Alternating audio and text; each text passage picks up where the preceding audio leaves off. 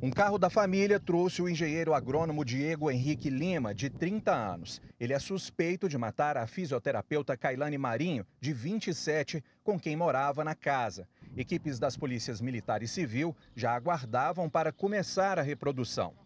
Foi nessa casa que Kailane morreu com um tiro na cabeça no dia 9 de outubro do ano passado. De acordo com a polícia, a reprodução do que houve naquele dia serve para compreender o crime nos mínimos detalhes. E um desses detalhes é o fato de que Kailane pode ter passado horas agonizando antes de morrer, o que para o promotor vai servir como aumento de pena, caso Diego seja condenado.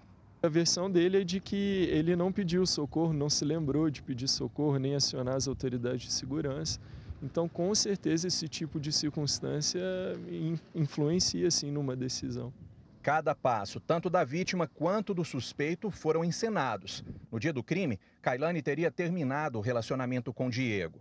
Ela havia saído da casa da mãe no fim da tarde para buscar algumas roupas na casa. No início da noite, ela e Diego começaram a brigar. O tiro foi ouvido pelos vizinhos por volta das 8 horas.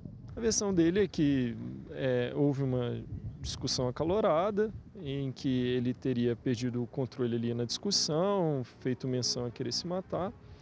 Só que no meio dessa discussão, a vítima não, não admitiu essa pretensão dele. Ele, segundo eu registro a versão do acusado, esse tiro teria sido acidental. Parentes de Kailane acompanharam tudo. A mãe dela falou pela primeira vez com a imprensa. Segundo ela, a forma como tudo aconteceu deu dimensão nacional ao caso. Por isso, ela acredita na punição de Diego, ainda que ele esteja respondendo ao crime em liberdade. Eu fiquei indignada com a soltura dele, que eu esperava que ele ficasse mais tempo na cadeia. Pelo menos até o julgamento, para que ele depois cumprisse a pena dele. Mas, infelizmente, isso não aconteceu. Mas eu confio primeiro na justiça de Deus, porque dessa ninguém foge. A balada Dona Lucélia contou que era contra o relacionamento e que temia que algo assim pudesse acontecer. Segundo ela, Diego e Kailane brigavam muito, principalmente por causa do ciúme exagerado dele.